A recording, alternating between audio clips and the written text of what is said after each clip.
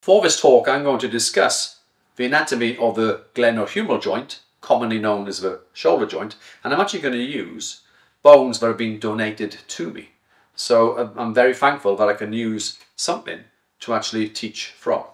Okay, now if I place the humerus bone against the scapula and place them together, so this will be known as the, the shoulder joint, but it's actually known as the glenohumeral because if I look inside here, this is the glenoid fossa, so the glenohumeral, humerus, will be the components of the shoulder joint.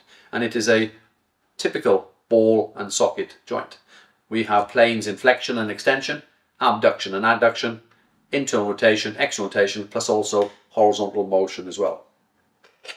Let's look at the bony landmarks to start with, and I'm going to choose the humerus. So we're going to start with the head. So this is the head of the humerus in here, and then this will articulate within the glenoid fossa. And it's like a golf ball on a tee, if you can visualize that. And only part of the head will actually sit on that tee, okay, which is naturally the, the socket in you. So it's relatively unstable as compared to the hip. And that's why we have muscles like the rotator cuff that provide some stability. From the head, moving round, we've actually got two necks with the humerus. So we've got this neck, which is known as the surgical neck, obviously goes all the way around. Okay, and then if I come down across here, then this is known as the surgical neck. So we've got two necks associated to the humerus. Now, coming across here, there is a groove along here, and then this groove is between two tubercles. So this would be known as the lesser tubercle. You can also call it the tuberosity as well, depending on what book you read. And the subscapularis will attach here, which is the main internal rotator. On this one here, this is known as the greater tubercle, or the greater tuberosity, and that's where the supraspinatus will attach. In between, think of a word in, okay? So intertubercle, tubercular, sulcus, which is a depression here, like a fossa. This is also known as the bicipital groove because the long head of bicep will come down through here, okay? It actually comes and attaches from the supraglenoid tubercle, just in here, part of the labrum, superior labrum, just in here.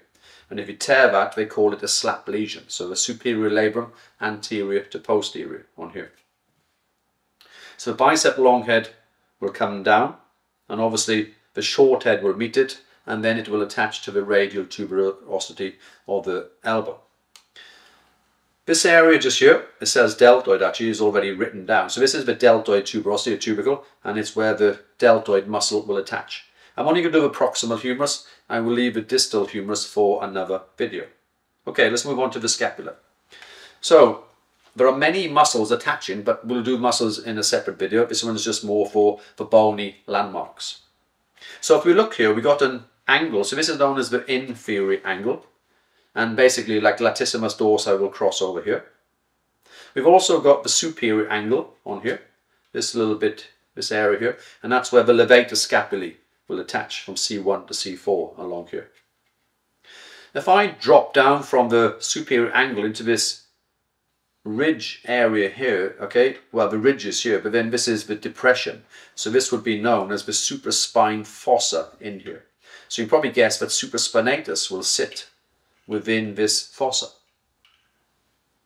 This is the spine of the scapula along here, the spine of the scapula, and that's a landmark you can use. So think supraspine supraspinatus. So obviously below infraspine, infraspinatus will sit in this infraspinous fossa here. You can see it's almost drawn, okay, along here.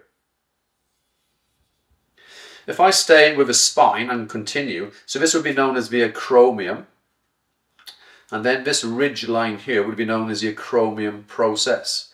And just below it will be the subacromial space where many people will have a subacromial decompression, typically because they've got some form of impingement or calcification on, on the supraspinatus tendon or even the bursa. But also, typically this should be relatively flat, but it can also be slightly curved or even hooked.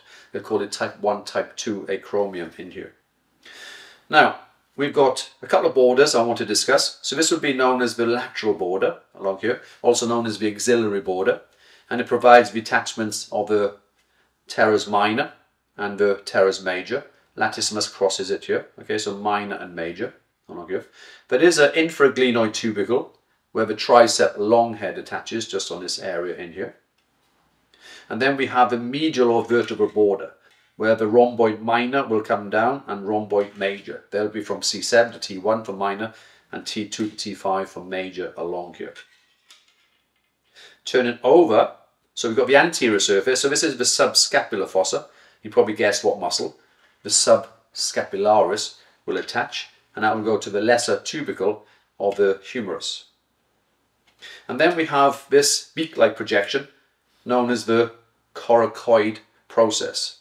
Okay, so this little tip in here. And there are three muscles which attach to that. The bicep short head. Okay, we know where the long head attaches onto the supraglenoid tubercle.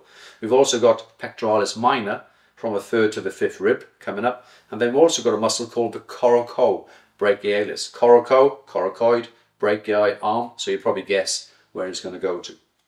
Okay, so that's the majority of the bony landmarks, if not all, for the scapula and for the proximal humerus. And it all relates to the shoulder joint. I hope you've enjoyed watching the lesson on the anatomy of a shoulder joint. Thank you.